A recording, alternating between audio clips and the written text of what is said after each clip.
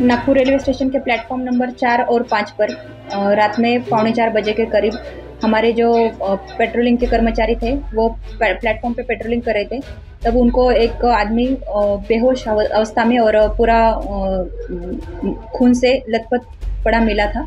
तो तुरंत उन्होंने थाने दमलदार को जानकारी दिया और उसके बाद सीसीटीवी फुटेज देखा। तो पौने तीन बजे के करीब एक आरोपी उसको सर पे पत्थर मारते दिखा, दिखाई दिया। तुरंत जो बेहोश था मृतक, उसको हॉस्पिटलाइज किया गया मेयो हॉस्पिटल में। और आरपीएफ की मदद से जब सीसीटीवी फुटेज देखा तो जो आरोपी था, वो इटारसी एंड से निकल के धीरे धीरे चल के आउटर पे जाके बैठा था मुंबई एंड की तरफ़ बैठा था। उसको ताबे में लिया गया है। फिर अभी गुना रजिस्टर हुआ है 302 के तहत। जो मृतक है, उसका नाम जितेंद्र एज 30 टू 35 है। उसके हाथ पे मुस्कान का नाम का एक टैटू है।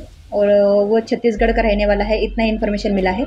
और जो आरोपी है उसका नाम दिनेश धोंडिबा सदा फुले रहा, ये पुणे का रहने वाला है। उसके पास इंक्वायरी किया तो उसने बताया है कि जो मृतक है, उसने कल रात को 10 बजे जो आरोपी है, उसके उसको, उसकी भतीजी, उसकी बहन और माँ के ऊपर कुछ गंदी गालो गलोच, गाली गलोच किया था।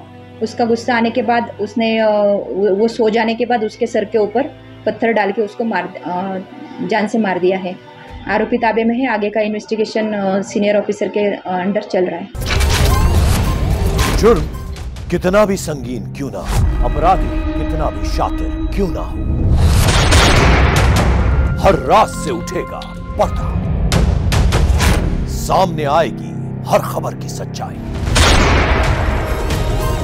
इंडिया टीवी, क्राइम अलर्ट पर। क्राइम की खबरों से अपडेटेड रहने के लिए India TV crime alert channel YouTube पर सब्सक्राइब करें, बेल आइकन दबाना न भूलें। सावधान रहें, सुरक्षित रहें, देखते रहें। India TV crime alert.